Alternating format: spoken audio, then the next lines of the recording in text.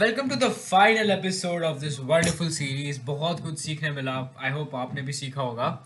Now we have already talked about Arshdeep Bhaiya's college life, what he did in the first and the second year of college. Then moving on to the third year, we talked about the internships and the uh, projects that he did. In the third video, we had a comparison between what's like essentially most important: web development, competitive coding, what one should devote its his more his or her more time to if they want to get into get placed into Google.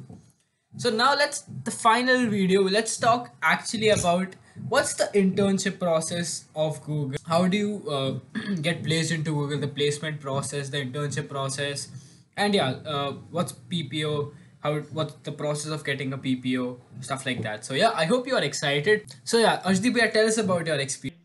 In Google, if you want to get like an internship, so there are two ways that you can do. First is an on-campus internship that you can get like Google visits on campus, and second is like you can apply for off-campus that you can directly reach out to recruiter or some other way, uh, like uh, just apply on the application portal or something like that. So that's how you can apply to Google. So first step in Google internship process or placement process is resume shortlisting. So your resume should be good enough so that it passes the like Google hiring bar. So at least in my year, like at least one year before this, Google used to have like really strict hiring bars in resumes. So they used to like uh, select only 10, 12 uh, students just on the basis of resume from the whole batch this year i guess it's it has improved like this year every student that applied most of the students got a, link for a coding test and based on the score in that coding test you were invited for further interviews. So i guess now it has improved but in our time it was mostly based upon resume.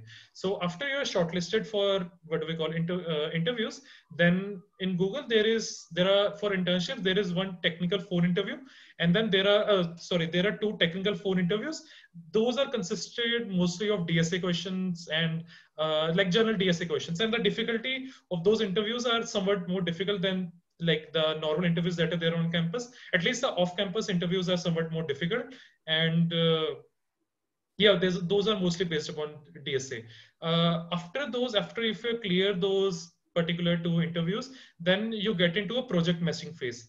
And in that project matching phase uh, you get to talk with different team managers of different teams. And they will discuss they what project that they have in mind and if you're really fit for that project or not. So if you have like a particular call with a particular manager and you discuss what are your skills and what have you worked upon and he explained you the project if you're interested in that project and the manager is also interested in taking you that that means it's a match and that's when the like internship process finishes. Uh, yeah. that's when you basically get an internship this is not true for like the normal Indian internships. So, uh, like in India, if you get like just clear the two technical interviews, DSA interviews, then you get the internship offer. So the host matching phase or the project matching phase that is there for US itself, but not for India. So that that's there and after you have like completed everything after you've got the internship and everything you do the two three month internship in summer and uh, then you finally after your internship ends your host and your co-host write a feedback about you like how did you perform? Were you able to complete your task? Uh, what is your general googliness and how are you to talk to as a person or yeah. how, what is your technical expertise and all those things? And then you also have two additional technical interviews. Uh, those are also mostly dsa based somewhat more difficult than i had in internship. Uh, but still like uh, so google interviews are actually somewhat difficult than the general industry standard. Uh, but it's not really that difficult that you can't solve the question at all. So yeah if you clear these interviews and the whole like the package that we have the feedback from the host and the two interviews feedback those sent to a committee and that committee decides if they're going to hire you or not. Uh, if they hire you then you get a pre-placement offer. That is basically you get a placement offer. Uh, if they don't hire you then you don't get an offer but yeah, so let's say after uh, third year we didn't get any offer या फिर कुछ problem, we can uh, still sit for placements, right?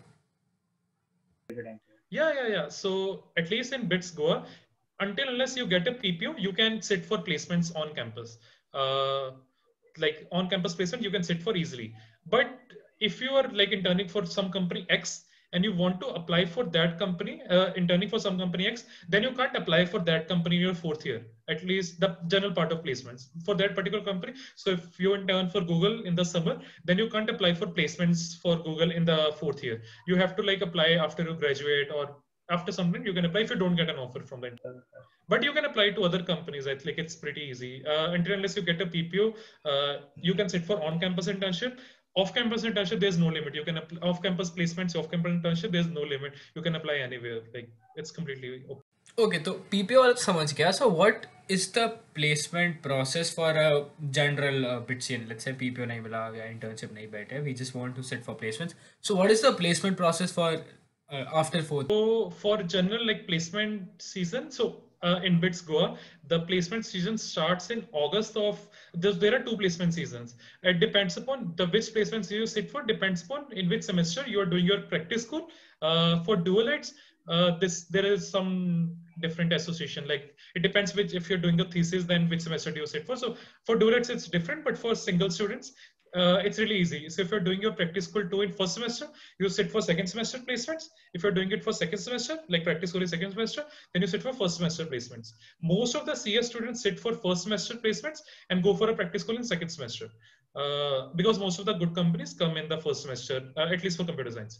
And the practice schools, uh, the placement season start in August for the first semester, and then like different companies visit on different days. So on day one, there are so how the companies are divided into like day one, day two, day three.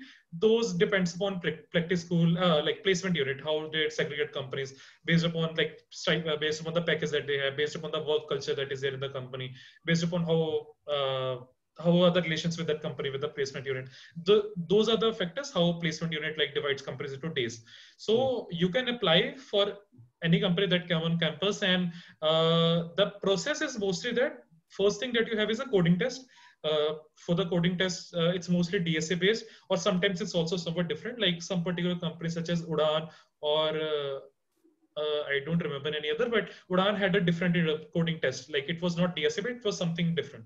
Mm apart from this, when you got selected from the coding test, then you are shortlisted for the interviews. And for placements, generally there are different number of interviews. So some companies have two interviews, some companies have three interviews, some companies have even five or six interviews. So it depends on the company how many interviews are there and for on-campus placements usually you get the results after like one or two days after your interviews were there or even sometimes that same day at the night as well or even sometimes in the like last interview you also get to know if you're get, getting Asha, so uh, what about off-campus placements? Yeah. yeah. So off-campus placements is basically you are uh, not using the any help that is provided by college, and you're directly applying on career portal of different companies, or you're like taking a referral, or you're like directly reaching to a recruiter. Uh, that's how off-campus placement started. Uh, that, that's off-campus placement is started, and I personally feel that it's really good if you get involved into like off-campus at least hiring. If you at least try to do that, because after your first job your second job will be based upon like all these off campus things. You are not going to get any placement unit after you graduate after your first after you change your like first company. Yeah. so that's why i feel like off campus experience in off campus hiring should be uh, should be there with every student. And uh, the process is somewhat same. Uh, only the like the timeline becomes a little longer. Usually on campus placements have like a one or two day timeline in which the coding test is on day one and uh, after a few days you have the interviews and you get the result in one or two days. Mm-hmm. But in off campus, it can be the case you get a coding test on one in one month, let's say in September. You get invited for interviews in November and after interviews you get the result in let's say December or January. So that is possible. That is completely possible. And uh, again, the process like differ for each of the company. Uh, I can tell about Google, like if you're applying for Google for off-campus or on-campus as well, there are there is a coding test. Like this year, they have started a coding test. Then after the coding test, you get a technical phone interview.